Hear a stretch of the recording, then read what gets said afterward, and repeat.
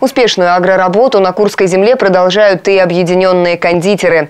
Урожайность выше средней по области, надои на стабильно высоком уровне.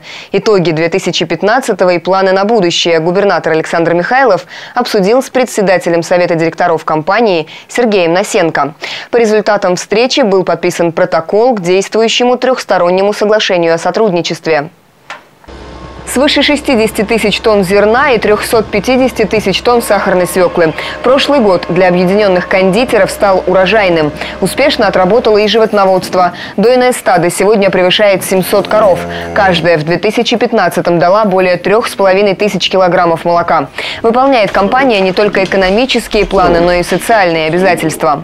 1128 человек сегодня работает компании, на, в предприятиях компаний на территории Курского региона. А это наши районы. Это Рыльский прежде всего и рядом находящиеся. Это очень важно. Неплохая зарплата с перспективой ее ежегодного роста, что сегодня и предусматривается с нашим вот, протокольным документом центре внимания в 2016 году будет модернизация сахарного завода. Сумма инвестиций 164 миллиона рублей. В сутки завод по планам будет перерабатывать до 3000 тонн свеклы. Нашему агропромышленному комплексу работает на Курской земле очень комфортно. Это не ради каких-то слов, а это ну, конструктивно, нормально, хорошо работает.